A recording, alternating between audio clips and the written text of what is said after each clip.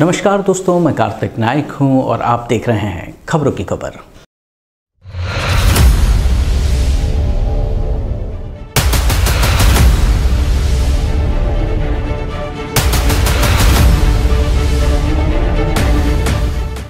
Bharatiya Janata party ने 2024 के लोकसभा चुनाव के लिए अपनी पार्टी से उम्मीदवारों के नाम की घोषणा करना प्रारंभ कर दिया है। पार्टी ने पहली लिस्ट में ही जिनके नामों की घोषणा की है, उनमें चौंकाने वाली बात यह रही है कि इसमें भोजपुरी फ़िल्म इंडस्ट्री के चार सितारों के नाम हैं।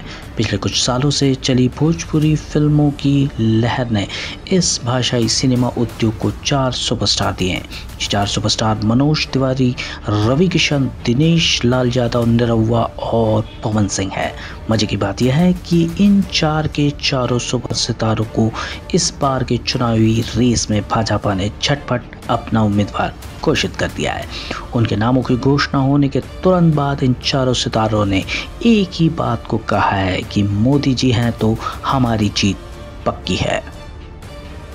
दोस्तों, वैसे तो भोजपुरी के इन चार स्टारों में से तीन, जैसे कि मनोज, रवि और निरहुआ, पहले से ही लोकसभा सदस्य एनपी के हैं। मनोज तिवारी, दिल्ली, उत्तर, पूर्व से भाजपा के पुराने प्रत्याशी हैं, जिन पर पार्टी ने तीसरी बार दांव खिलाए। मनोज लोक गायक से अभिनेता बने थे।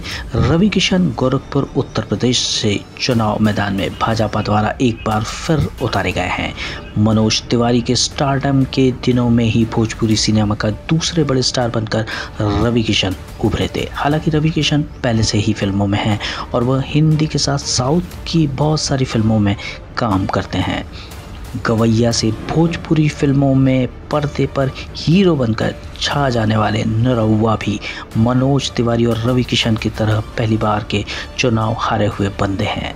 लेकिन वह शुरू से ही भाजपा में रहे हैं। पार्टी को, उनको 2019 के लोकसभा चुनाव में अखिलेश यादव के सामने खड़ा किया था। इस बार 2024 के चुनाव में पार्टी ने उन्होंने एक मज़बूत दावेदारी की सीट बंगाल की आसनसोल से पवन सिंह को चुनावी मैदान में उतारने की घोषणा की है, जहाँ उनका मुकाबला फ़िल्म स्टार शत्रुघ्न सिन्हा से होने की संभावना बन गई है।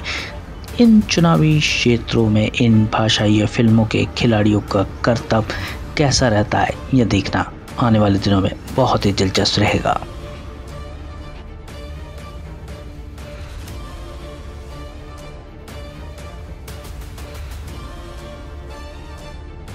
तो ये थी खबरों की खबर। देखते रहिए खबरी, क्योंकि खबरी की है हर खबर पर नज़र।